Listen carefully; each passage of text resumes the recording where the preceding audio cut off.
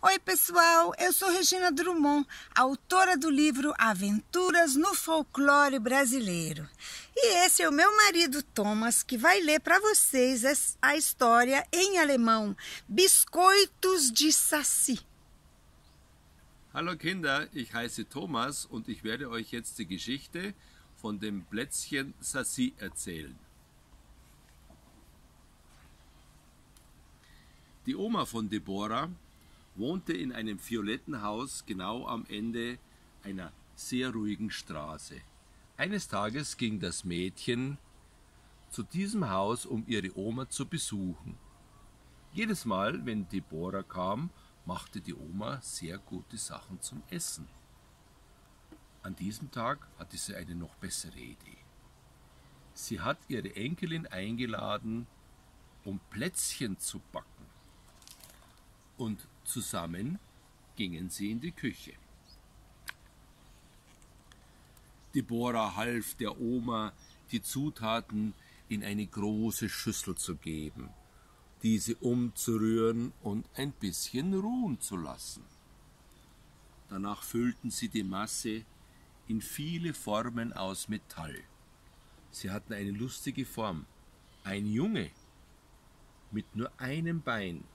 Er hatte eine Mütze und auf dem Kopf und eine Pfeife in seinem Mund.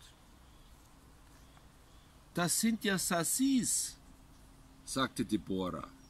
Die Oma schaltete den Backofen ein und brachte ein Buch zum Lesen.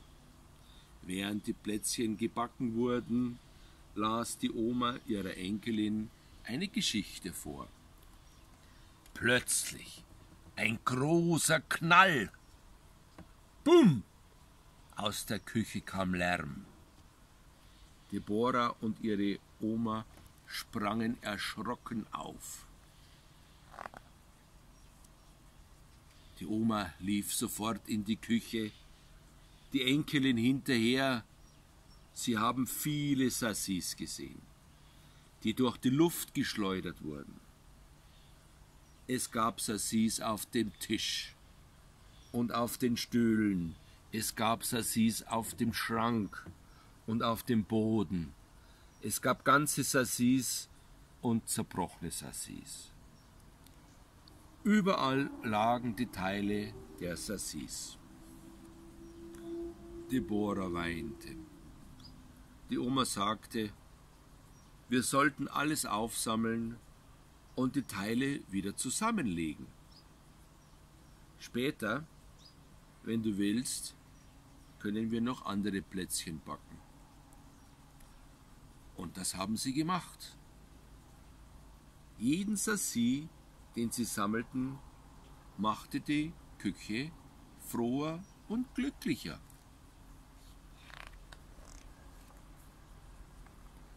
Am Ende, als alle geordnet waren, sagte der größte Sassi, wir sind wieder glücklich. Meine Kameraden und ich bedanken uns. Und jetzt dürft ihr uns essen. Deborah wollte keine Minute verlieren und hat sofort zwei Stücke in den Mund genommen. Mmm, sehr lecker.